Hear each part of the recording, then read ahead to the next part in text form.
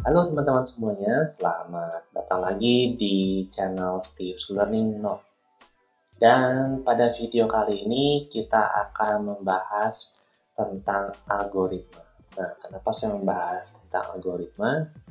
Karena dalam waktu dekat saya akan menginterview orang dan saya butuh bank soal ya tentang algoritma. Jadi saya selingi pembelajaran saya tentang algoritma ini saya masukkan ke dalam jadwal pembelajaran saya. Uh, ya, jadi semoga bermanfaat juga buat kalian. Siapa tahu kalian lagi butuh bank soal tentang algoritma atau mungkin kalian lagi mau interview juga butuh latihan algoritma atau memang mungkin kalian sedang belajar tentang algoritma. Ya, mungkin video ini cocok untuk kalian dan pada video kali ini kita akan mulai dengan sebuah algoritma simple ya. Kita akan pemanasan dulu, yaitu tentang penjumlahan dua angka. Nah, seperti apa kelanjutannya? Saksikan lebih lanjut sampai akhir video.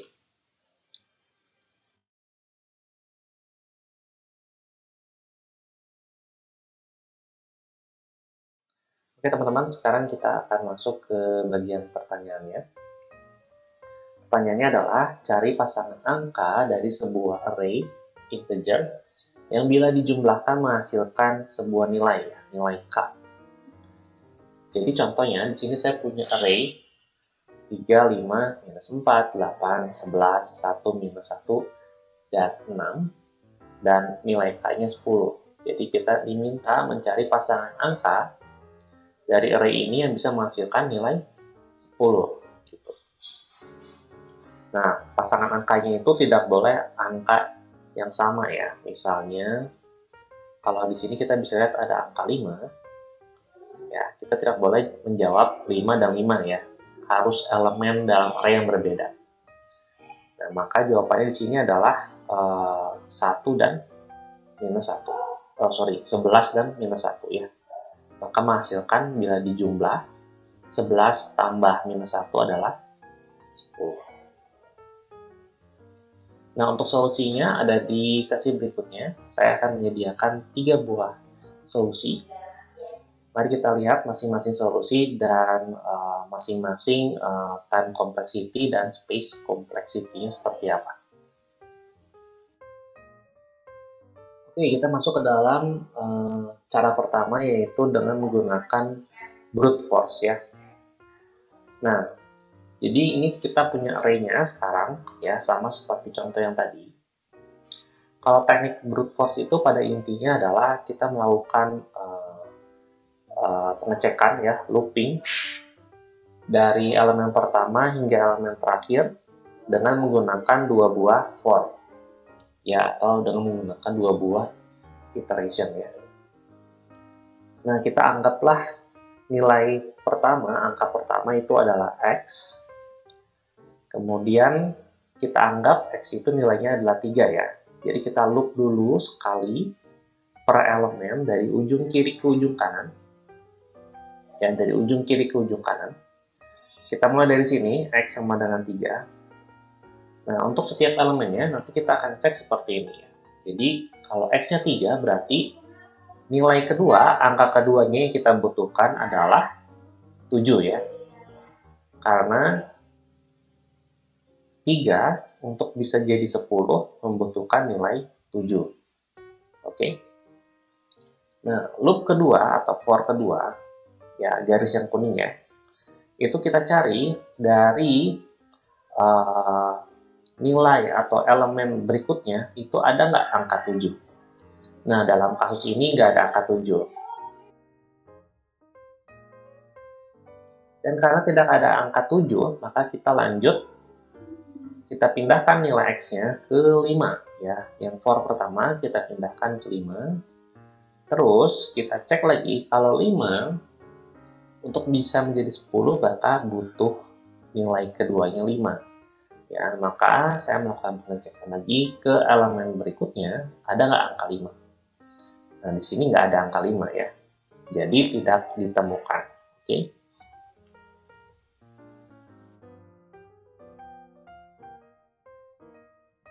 Nah, kita akan loncat, tadi terakhir 5 kan.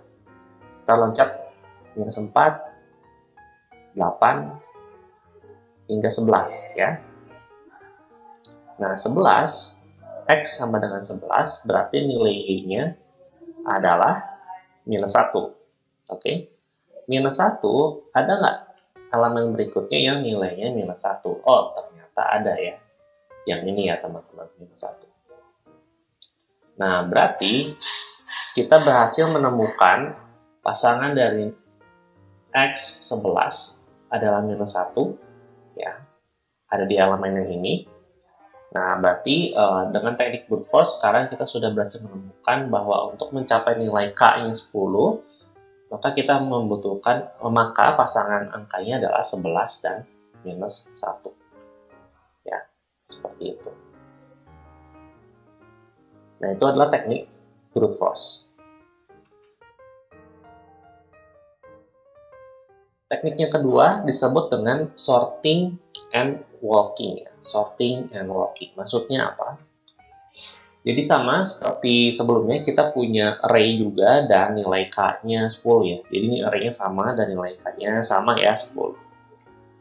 Nah yang membedakan uh, di teknik ini adalah uh, kita melakukan sorting dulu ya teman-teman. Nah, bisa kita lihat di sini kita sorting dulu array-nya dari nilai terkecil paling kiri dan hingga nilai terbesar di paling kanan.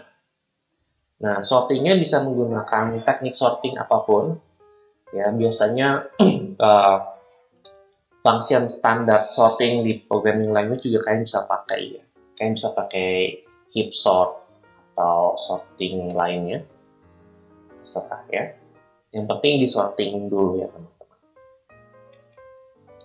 Nah setelah di sorting nanti kita akan punya dua buah uh, pointer ya. Jadi ada pointer left kita arahkan ke nilai paling kecil minus 4 dan pointer right kita arahkan ke nilai paling besar yaitu 11.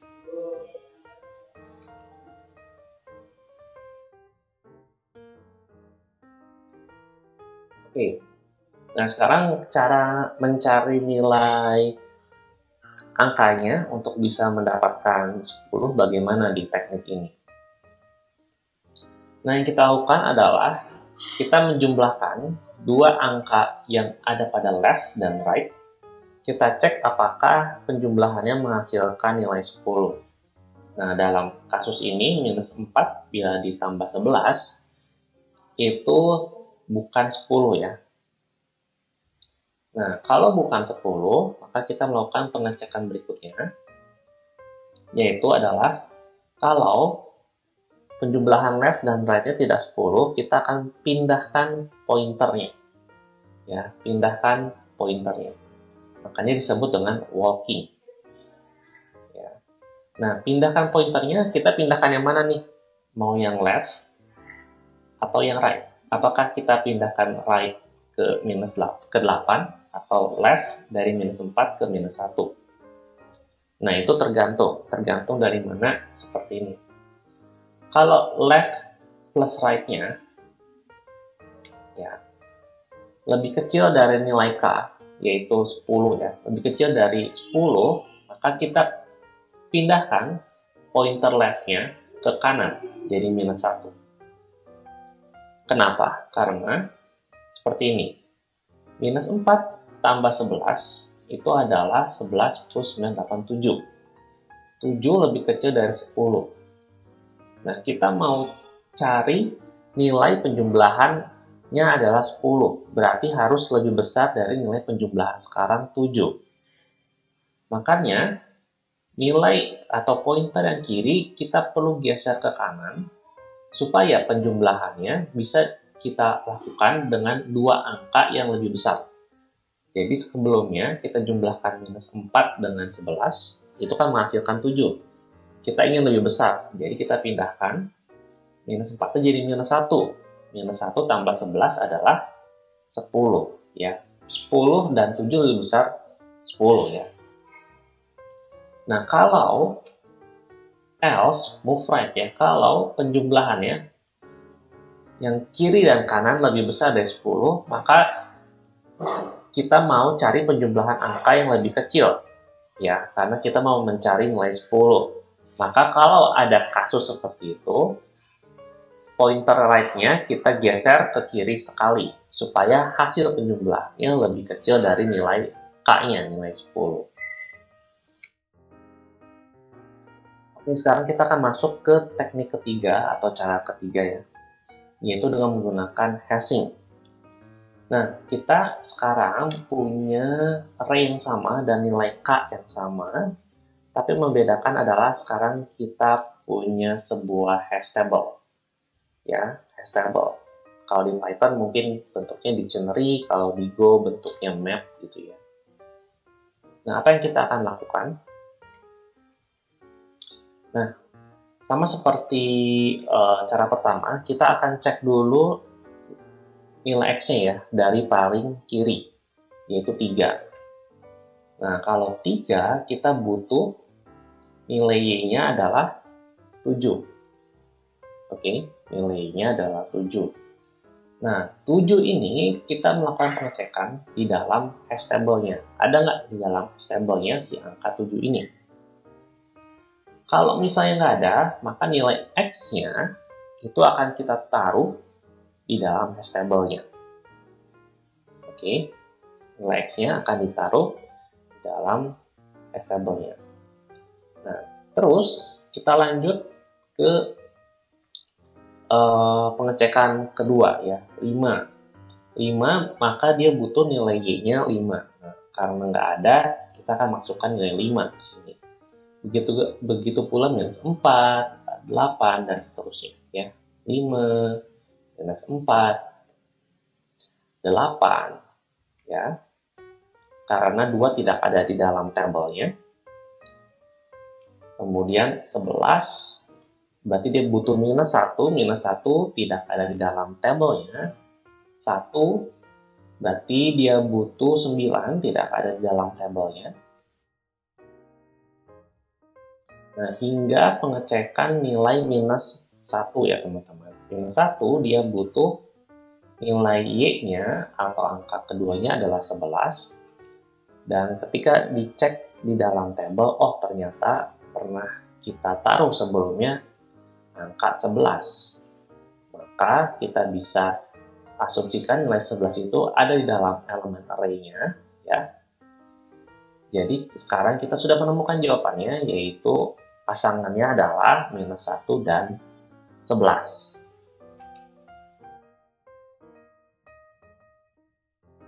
Oke, sekarang kita masuk ke dalam kesimpulan dari tiga buah cara uh, untuk menyelesaikan permasalahan penjumlahan dua angka ya. Jadi di sini kita sudah punya tiga cara yaitu brute force, short walking, dan hashing. Mari kita lihat kompleksitas waktu dan ruangnya. Untuk brute force, ya, ini kompleksitas waktunya adalah ON pangkat 2 karena uh, at worst case kita perlu melakukan pengecekan setiap elemen di dalam uh, array-nya sebanyak dua kali ya. Jadi waktunya adalah ON pangkat 2. Nah untuk kompleksitas ruangnya ini linear ya, O1 karena kita tidak membutuhkan tambahan space dalam tahapan perhitungannya. Oke, okay. dan teknik brute force ini uh, dia akurat, artinya ya bisa menyelesaikan solusinya, tapi bukan uh, teknik yang terbaik.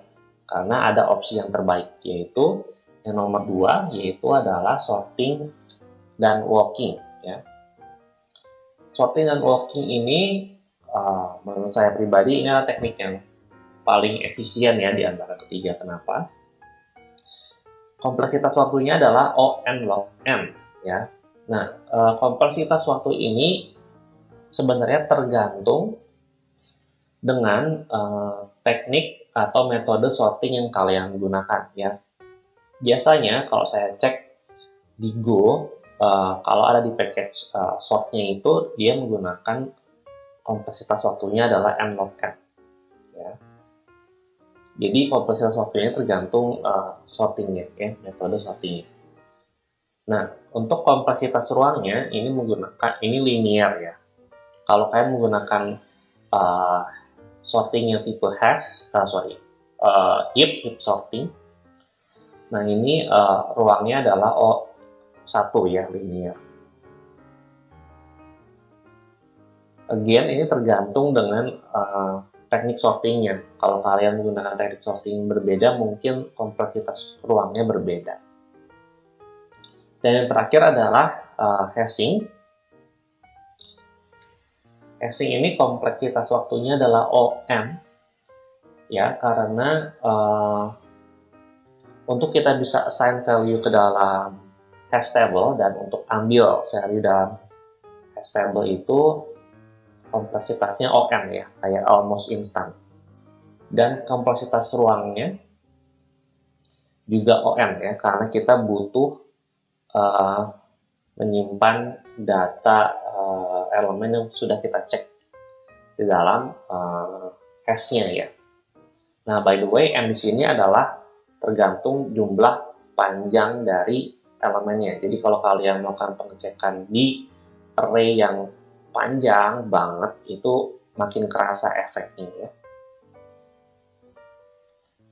Seperti itu. Nah, untuk teknik yang ketiga ini, Uh, jadi se secara waktu dia yang paling baik di antara ketiga ini, tetapi di sini dia membutuhkan extra space ya. Jadi uh, kita bisa optimize dari sisi waktunya, tapi dari tapi kita mengorbankan dari sisi ruangnya ya. Jadi ini mungkin bisa consider juga. Jadi makanya untuk saya pribadi, menurut saya yang paling baik adalah teknik yang nomor dua. Oke, karena dari kompleksitas waktu dia lebih baik dari teknik pertama dan memang tidak lebih baik dari teknik ketiga, tapi dari kompleksitas ruang dia adalah yang terbaik. Ya, terima kasih teman-teman sudah menyaksikan video singkat ini. Semoga bermanfaat untuk kalian. Semoga bisa lumayan menghangatkan otak kalian. Ini waktu saya belajar juga lumayan menghangatkan otak saya ya, karena sudah lama banget terus terang tidak bermain-main dengan algoritma. Nanti kita akan lanjutkan di lain waktu dengan algoritma yang lebih menantang. Dan untuk sampel code-nya, implementasi tadi ya, dari tiga teknik tadi, sudah saya buat dengan menggunakan bahasa pemrograman Go dan linknya akan saya sertakan di description. Silahkan dicek ya teman-teman. Terima kasih untuk menyaksikan video kali ini. Jika kalian suka, jangan lupa tekan tombol like dan subscribe dan aktifkan loncengnya untuk mendapatkan notifikasi video pembelajaran lainnya. Sampai jumpa.